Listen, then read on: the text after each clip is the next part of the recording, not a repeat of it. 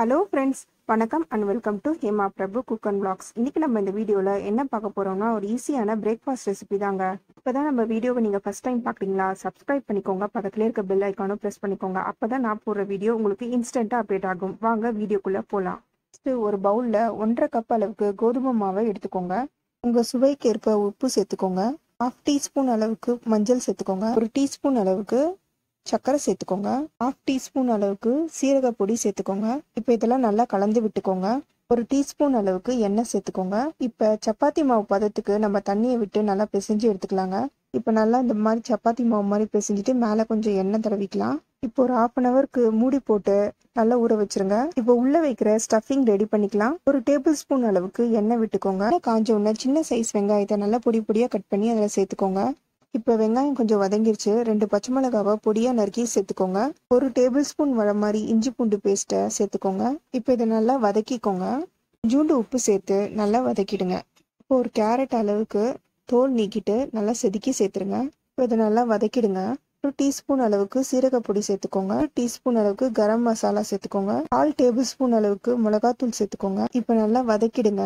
இப்போ ஒரு மூணு டேபிள் ஸ்பூன் அளவுக்கு தண்ணி சேர்த்துக்கோங்க. இப்போ கேரட்லாம் லைட்டாக வேகட்டும். மீடியம் சைஸ் உருளைக்கிழங்க நல்லா வேக வச்சு மசிச்சு சேர்த்துக்கோங்க.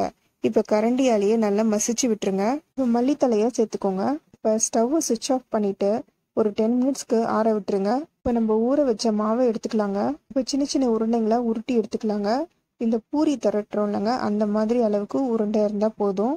இந்த மாதிரி எல்லா உருண்டையும் பிடிச்சி எடுத்துக்கோங்க. இப்போ சப்பாத்தி தேய்க்கிற கட்டையில் கொஞ்சோண்டு மாவு போட்டு ஸ்ப்ரெட் பண்ணிக்கோங்க. இப்போ நம்ம பிசைஞ்ச மாவை எடுத்து வச்சு பூரி திரட்டுற மாதிரி திரட்டி எடுத்துக்கலாங்க. பாருங்க கை சைஸ் தான் இருக்கு. இந்த மாதிரி திரட்டி எடுத்தா போதும். இப்போ நம்ம பண்ணி வச்சிருந்த மசாலா ஆறிடுச்சுங்க. இந்த மாதிரி உருண்டையா பிடிச்சி வச்சுக்கோங்க.